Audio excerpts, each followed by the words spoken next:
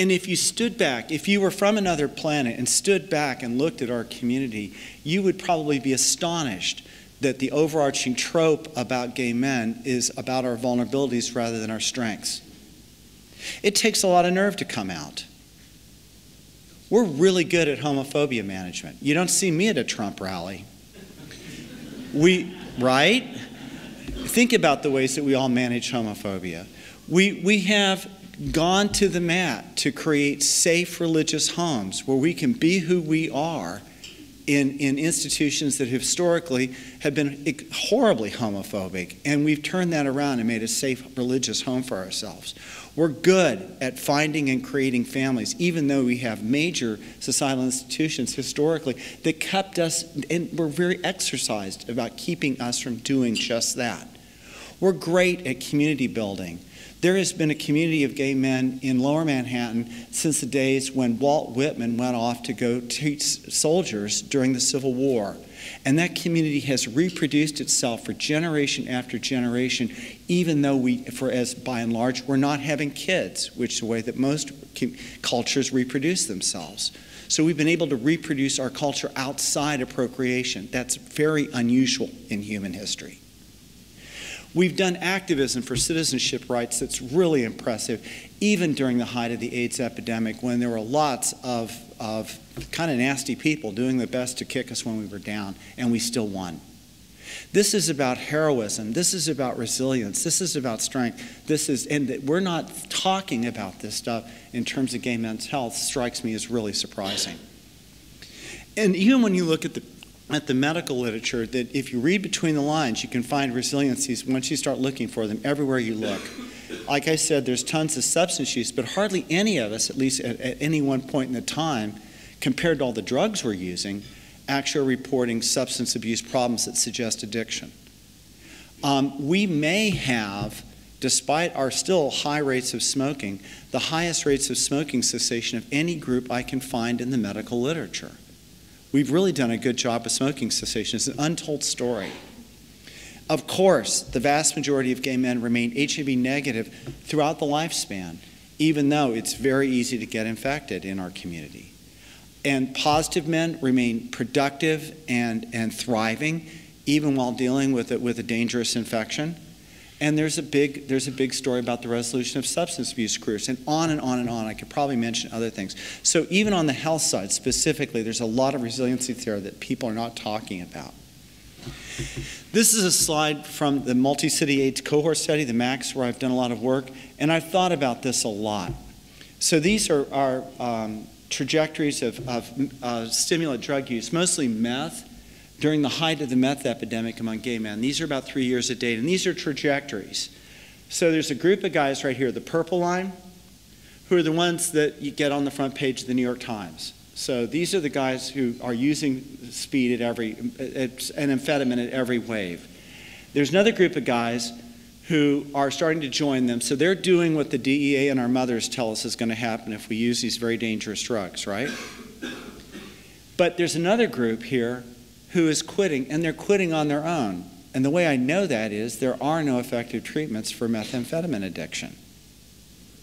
So somehow they're doing that, and that whole, of all the thousands of papers that have been written about gay men and substance abuse, no one's I, that I know of has ever talked really carefully about resolution of substance abuse careers, and I'll talk more about that in a minute. And then there's a group of guys who's during the height of the epidemic never touched this stuff.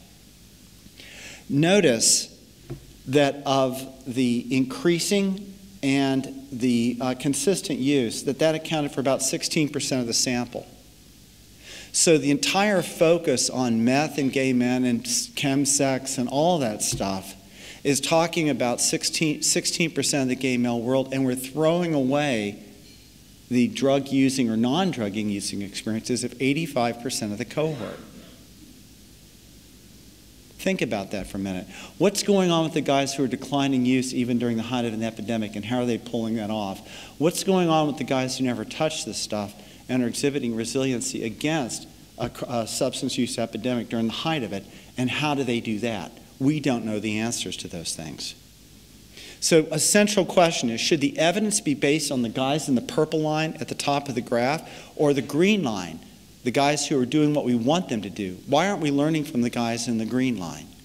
And, and how they're reducing. And how would our intervention designs be different if we took the guys in the green lines or the guys who never, ever, never you know, did the risk to begin with, learn from those guys about how to support broader health in the gay community?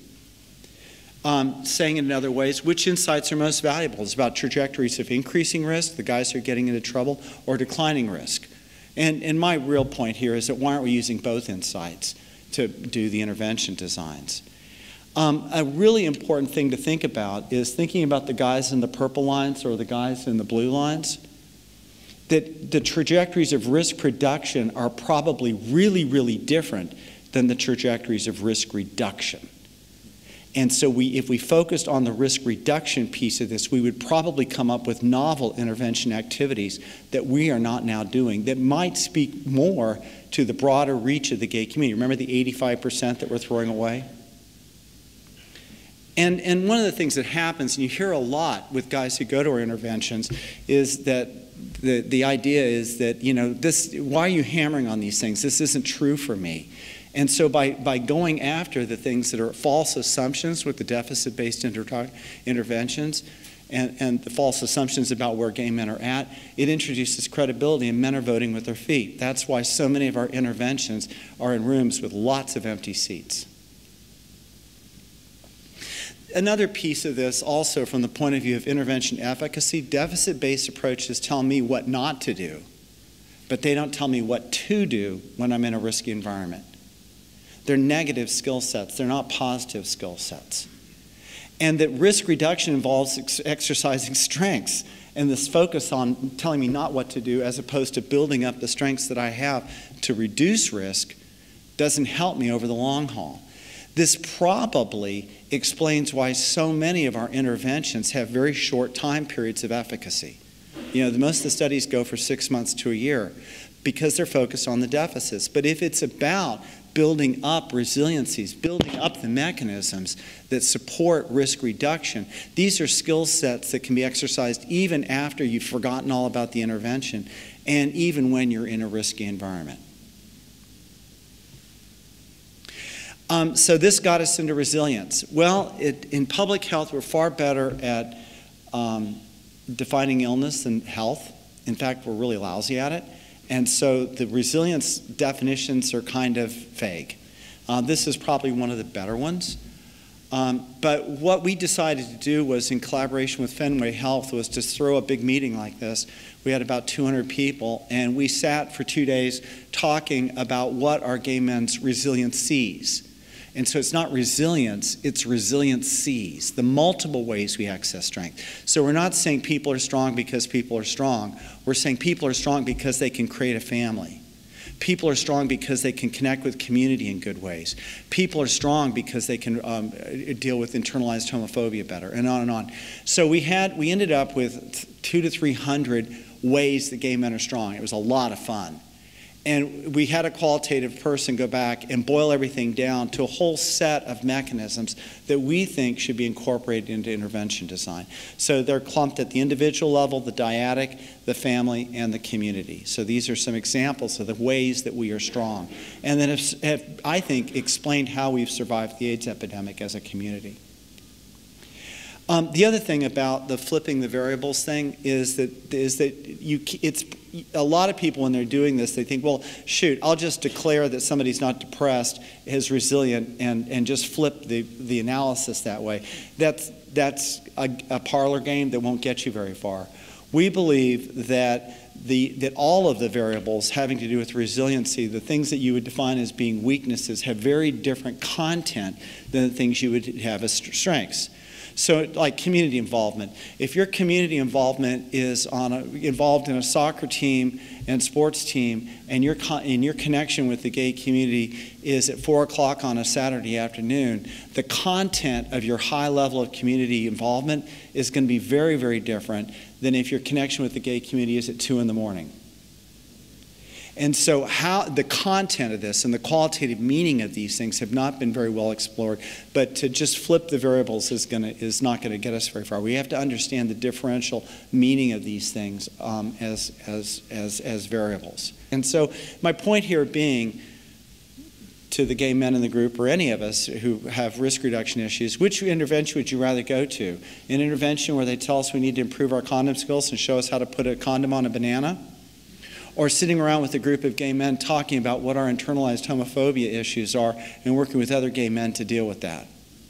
Mine would be getting in drag and going and arguing with the guy at the grocery store about the high price of lettuce this day, these days. So I, I can't do that. Um, but if, if I do that, I will be zero on internalized homophobia, I guarantee you. So, on a useful theory, I just, you know, it, we need to get better. Theor- interventions are intensely theor- theoretical. If I tell you AIDS is going to get you if you don't look out and hand you a condom, my theory is fear and condom availability reduce risk everything that we do is an intense theoretical test. So the smartest thing we can do around raising levels of health in our community is come up with a better theory.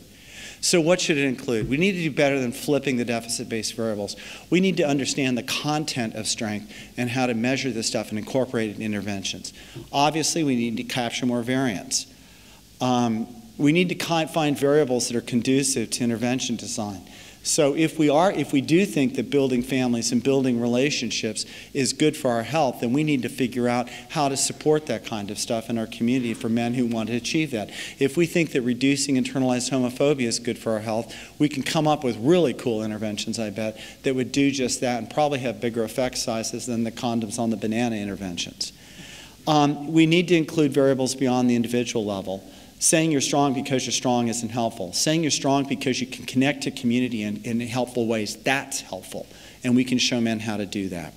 So, final thing is, you know, our communities have, ex- have exhibited extraordinary resilience during a horrifying epidemic. Uh, we've been through a war. We have done really well. And, and it's a remarkable historical story and, and that the overarching trope of what's going on with our community should not be vulnerabilities, but should be about resiliency and heroism, in my opinion.